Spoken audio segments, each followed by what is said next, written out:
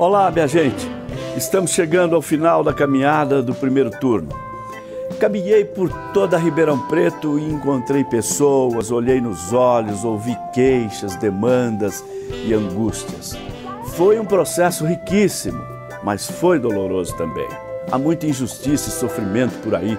Exercitei diariamente a capacidade que todos temos de nos colocar no lugar do outro, de sentir o seu sofrimento, a sua dor. Mas no meio de tudo, encontrei a esperança. Percebi que muitas vezes, para resolver problemas que parecem insuperáveis, basta ter compaixão, basta um apoio, um olhar, uma mão estendida. Quero ser prefeito de nossa cidade para resgatar a dimensão afetiva da política, sem ódio, sem preconceito, sem discriminação. Enfim, convoco todos e todas para juntos humanizarmos Ribeirão Preto, fazer dela uma cidade em que caibam a vida digna, a solidariedade, a justiça e o amor.